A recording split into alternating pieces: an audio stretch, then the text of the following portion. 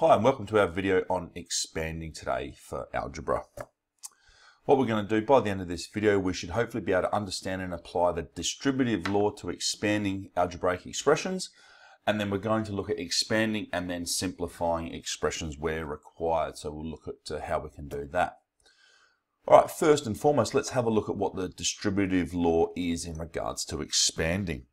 So if we have a look at this statement here, and this is what the distributive law actually states, is that when we have a term outside the brackets here, uh, the term A, and it's multiplied by any terms that are inside the brackets, um, say B plus C, when we multiply that out, we get this AB plus AC. So effectively, what this actually means, this little, uh, the, this A here, it actually means A times B plus C, if we want to think of it um, in that sense. Excuse my A there. Um, now, what we're actually doing is we're taking, we're distributing each of the, the term, sorry, the term outside the brackets with each of the terms inside. Okay, and we and we um, we add them together, um, and we can use our integers, the laws of multiplying with integers to determine what our um, our sign is here. But if we look at um, how we get the AB, so we get this term here, so we get the A, and we actually multiply that by the B, and that gives us AB, and then we actually multiply that by the C as well to give us AC. Now I'm going to go through some examples, and hopefully it should make a little bit of little bit of sense when I go through the examples. So it's a really good good way of just identifying the pattern here and and, and following the following the procedure basically.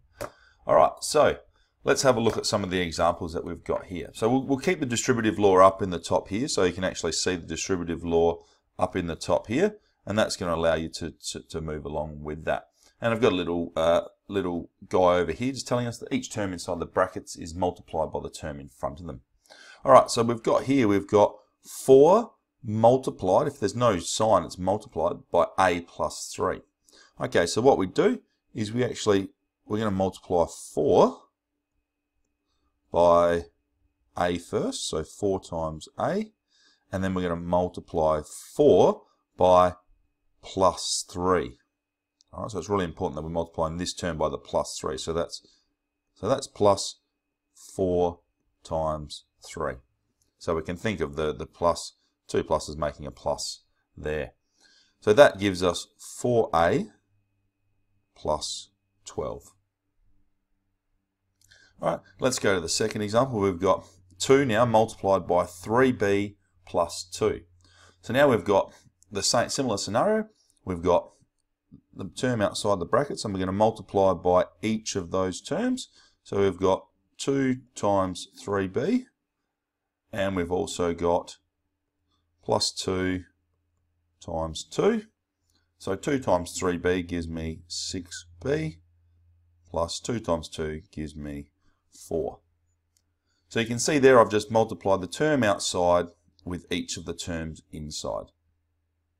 Okay, over here we've got, now we've actually got a, um, a pronumeral or a variable outside the bracket. And what we're going to do is we're actually going to multiply that by both of those. So we've got, here we've got y times y, and then we've got y plus y times 4. So y times y well, what does that give me? That gives me y squared, and y times 4 gives me plus 4y. So you can see there the distributive law in, um, in work there. Um, really simply, we'll go through a couple more examples and we're going to use some negatives in the next examples. All right, so if we have a look at our next examples, we've got, now we've got uh, a a coefficient on our pronumeral outside the bracket. So we've got 3c times 2c. So that's 3 times 2.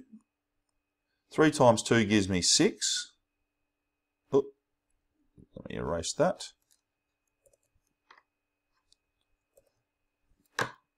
So we've got 3c times 2c. And then we've got plus 3c here multiplied by minus. So plus times a minus actually gives me a minus. And then we've got 3c times 4. So 3c times 2c gives me 6. We multiply the two 6. c times c gives me 6c squared. And then minus 3c times 4 gives me minus 12c. So remembering I've got a plus here multiplied by minus. So my final answer here, this whole answer here, minus 12c, that includes, sorry, that should include the, um, the c, is minus 12c. So I'll just rewrite that. I'll erase that and rewrite that. So that will be minus 12c. All right, now over here now we've actually got a negative number outside the bracket. So we're going to be doing some work with multiplying with a negative number. So we've got minus 3 times 4a. So we write that minus 3 times 4a. And then we've got a minus times a minus. So a minus times a minus actually gives me a plus. So we've got plus, and then we just multiply the two numbers. 3 times 6. So minus 3 times 4a gives me minus 3 times 4 is minus 12. And then I've got a. And then I've got plus 3 times 6. Well, that gives me plus 18. Okay, thank you for watching that video. Watch the next video for how we're going to expand and simplify using the distributive law.